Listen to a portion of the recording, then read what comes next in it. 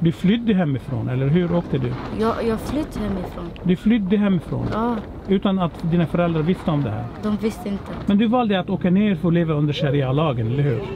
Ja, men för att min man också ville ha det. Ja. Ja. Men han dog Hur dog din man?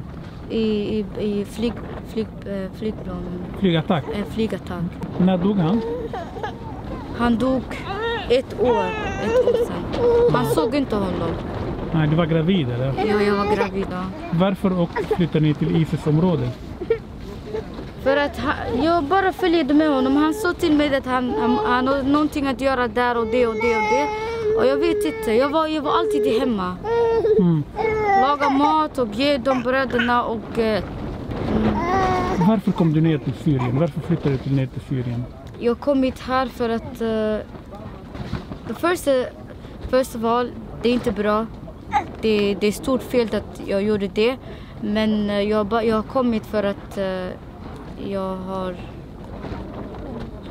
Jag hörde att det är bra, man ska hjälpa muslimer och eh, man ska, man ska göra så många... Jag vet inte men... prata.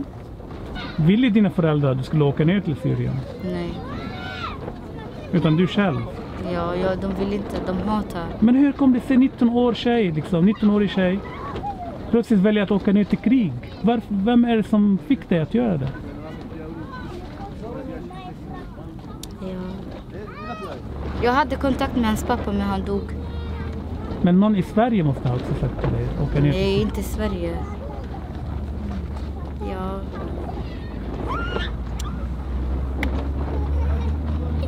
Hur hade du kontakt med hans pappa? Jag hade kontakt i Facebook Mm. Twitter. Vad tycker du om Isis?